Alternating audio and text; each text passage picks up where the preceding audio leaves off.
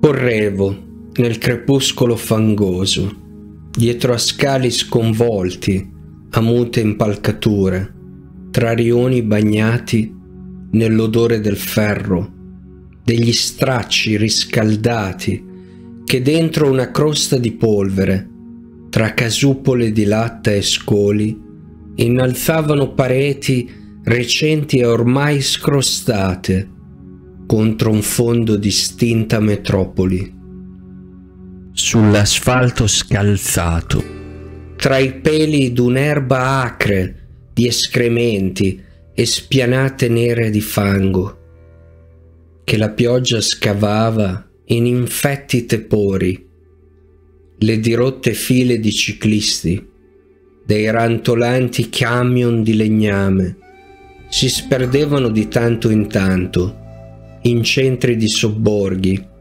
dove già qualche bar aveva cerchi di bianchi lumi,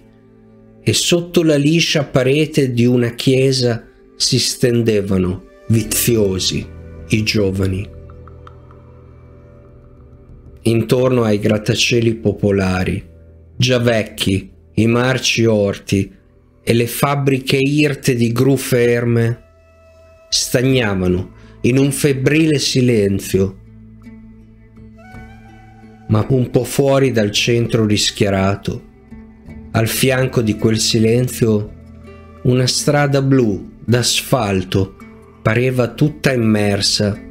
in una vita immemore ed intensa, quanto antica. Benché radi, brillavano i fanali d'una stridula luce e le finestre ancora aperte erano bianche di panni stesi, palpitanti di voci interne. Alle soglie sedute stavano le vecchie donne e limpidi nelle tute o nei calzoni quasi di festa scherzavano i ragazzi, ma abbracciati fra loro, con compagne di loro più precoci. Tutto era umano in quella strada e gli uomini vi stavano aggrappati dai vani al marciapiede coi loro stracci, le loro luci. Sembrava che fino dentro l'intima e miserabile sua abitazione l'uomo fosse solo accampato come un'altra razza e attaccato a questo suo rione dentro il vespro unto e polveroso, non fosse stato il suo, ma confusa sosta. E chi attraversasse quella strada, spoglio dell'innocente necessità, perso dai secoli cristiani, che in quella gente si erano persi,